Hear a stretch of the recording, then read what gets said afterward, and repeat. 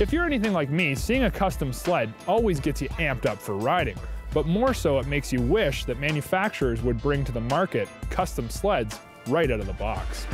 Ski-Doo has come close with its XRS models in both flatland and mountain markets. However, there was never an option to spec these sleds to truly set you apart from everyone else who ordered it. While the XRS is still a first-class production, it simply lacks the feeling of customization. The Summit line has traditionally been Ski-Doo's testing ground for new technology and innovative ideas, and in 2011, the Summit Freeride hammers both those nails directly on the head. The Freeride's base RS chassis is the same chassis used in Ski-Doo's race sled and in the XRS. It features ultra-wide running boards that taper further to the back of the tunnel. Now because this is a Summit, the tunnel has been stretched out to accommodate a 154-inch snow shovel. Starting to sound like an XRS Summit, right? Wrong. While the Freeride does share the aforementioned highlights with the 2010 XRS Summit, from this point forwards it takes a dramatic turn. The entire tunnel and running boards all the way back to the bumper have been powder coated in a super crisp white paint to match the gas tank cover, white side panels, and white hood. While this looks cool on its own, the ski spindles, riser block, and rails in the skid get gold anodizing, giving the trickiest aftermarket look for a production snowmobile that I've ever seen. Oh, and on top of all that, Ski-Doo is offering a choice of a full sled graphics wrap in six designs and two color choices.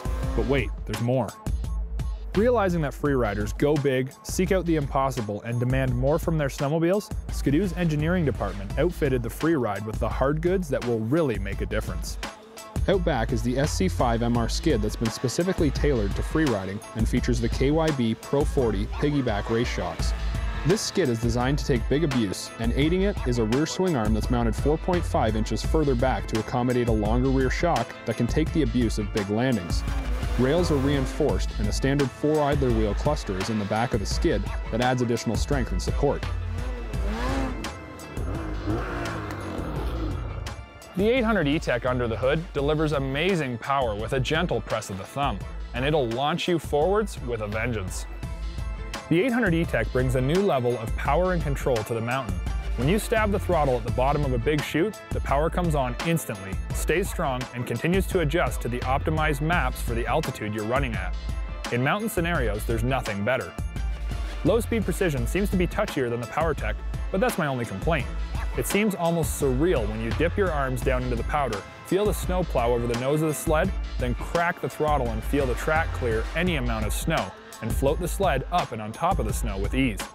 Where most sleds will need a moment to clean out and clutch down to pull a big old 2.25 track, the E-TEC leans out and hits the spot like a crispy chicken. From the cockpit, the Freeride stance is right on target. The 5-inch riser and the tapered bars put the controls right at the perfect spot for freeriding, and not to mention when you want to pull a good left or right hook, it's really easy to move back and forth.